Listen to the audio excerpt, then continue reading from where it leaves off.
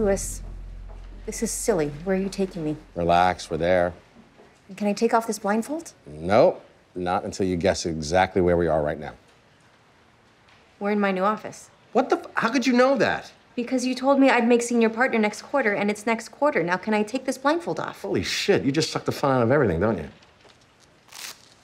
In that case, I have dreamt about making senior partner since I was nine years old. You not only fought for me to get this, I wouldn't even be at this firm without you. And on top of all that, Louis, this office is the most beautiful thing I've ever seen. All right. I was wrong. You don't suck the fun out of anything. Thank you, Louis. Thank you for fighting for me.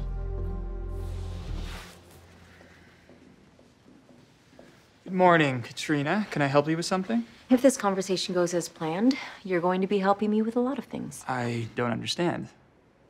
I just made senior partner. So it's official? It's official. And as my first act, Brian Simon Altman, will you be my associate? Katrina, I'm honored. But before I answer, are you sure the two of us working so closely together is a good idea? What? I mean, we become good friends. So it might get complicated if I officially work for you. I appreciate that, Brian, but I'm okay with it if you are.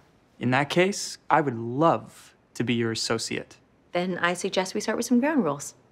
First, every day you get here before everyone else. Done. Next, power ties only, not any of the ties I have ever seen you wear. Been meaning to replace my entire collection anyway. Finally, I don't want a yes man. So I don't care what the topic is. If you disagree with me, I want you to push back whether it'll piss me off or not. Are we clear? If I say yes to that, that would mean I'm being a yes man, so I don't know what to do right now. I'll tell you what you're gonna do. You're gonna help me win the case It's gonna put us on the map. This is a bunch of bullshit. I take it that means you're up to speed? I'm not just up to speed, I know more about women's clothing than I ever thought possible. Then you know high rise fashion has been ripping off our clients' designs. I do.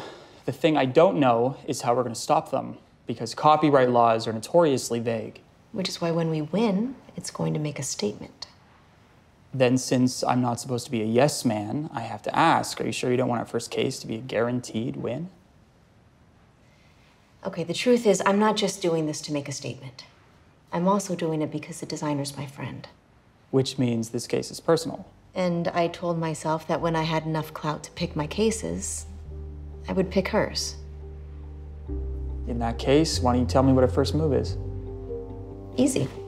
Tomorrow morning, you slap them with this.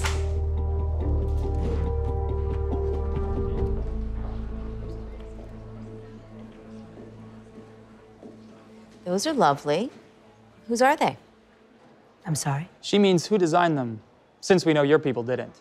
Just like they didn't design this, or this, or this.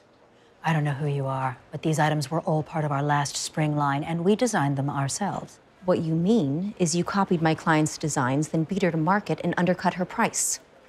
I see what this is, because I've seen it before. And no associate at some middling law firm is going to shake me down. I'm not an associate, I'm a senior partner. And this isn't a shakedown, it's a chance at a settlement before we clean you out in court. Then file your suit, because it's a thin line between theft and inspiration, particularly in a creative industry where people have similar ideas all the time. My lawyers have assured me of that. Have they also told you about Johnson v. Olympia Records? Because a songwriter was awarded 15 million for plagiarized work in exactly the same situation. And since precedents can cross industries, in particular the creative ones, We thought 15 million dollars for our clients' designs would be fair. We'll give you 24 hours to consult your lawyers. After that, we'll see you in court.